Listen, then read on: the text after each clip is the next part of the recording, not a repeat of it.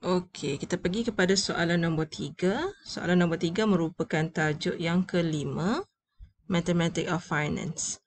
So, ada kat sini 500. Okey, kita keluarkan maklumat ni 500. Okey, kita tak tak tulis lagi tajuk dia.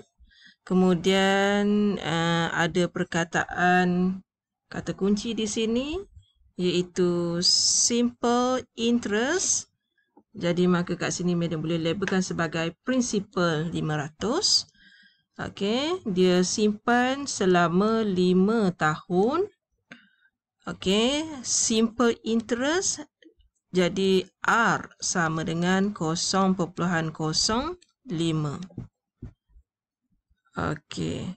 Tapi kita kena hati-hati kita baca semula 5 500 disimpan di, uh, di dalam sebuah bank dalam masa 5 tahun okay, pada kadar faedah 5%. For the first 4 years. Okay, so kita betulkan 5 ni total. So sekarang ni dia cuma uh, nak buat nilai T 4 tahun dahulu.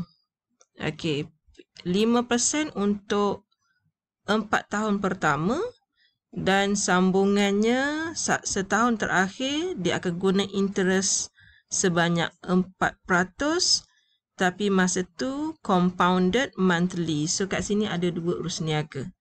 So Med akan kira dahulu untuk urus niaga simple interest. Berapakah duit yang tersimpan dalam masa 4 tahun. Okay, jadi S sama dengan P 1 tambah dengan RT. Ha, yang ini rumus simple interest. So kita nak cari nilai S. Prinsipal kita 500. 1 tambah dengan 0.05 darab dengan 4 tahun. Okey, so kita tekan kalkulator. Kita masukkan terus dalam kalkulator semua nilai ni. So kita akan dapati hasil selama 4 tahun ini ialah RM 600. Okey, 600 ringgit. Okey. So, dia tanya interest pada tahun yang keempat.